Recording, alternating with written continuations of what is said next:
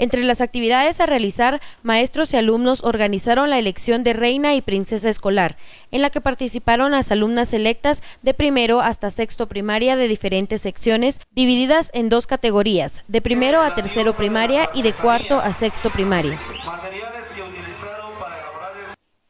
Las alumnas realizaron su presentación ante toda la población estudiantil. Ellas hicieron su presentación en traje de fantasía y traje de gala. Celebrando un aniversario más de, nuestra escuelita, el día de hoy pues tenemos la elección de la reina escolar, eh, que es la primera actividad que llevamos a cabo todos los años.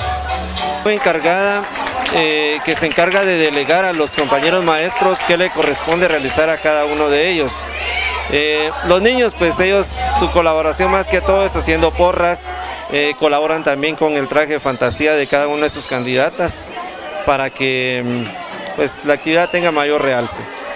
Tienen mucho que ver, ¿verdad? Cualquier actividad eh, genera gastos, cualquier actividad. Entonces, eh, lo primero que hacemos pues es platicar con ellos para ver si están de acuerdo en darle permiso a sus niñas y pues están dispuestos, ¿verdad? Lógicamente a tener algún pequeño gasto para la actividad son varias candidatas, pero dentro de esas se van a elegir solamente a cuatro, dos de categoría de niña princesita y dos de señorita escolar, de niña escolar. Cada uno de los grados participantes con su creatividad cantaban y gritaban porras para apoyar a su candidato, contando con el apoyo de los padres de familia que se presentaron a la elección de reina escolar.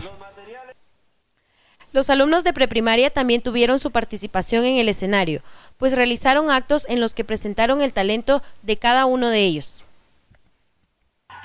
Para Notivisión 42, con imágenes de Roberto Solares, reporta Daisy Chitay.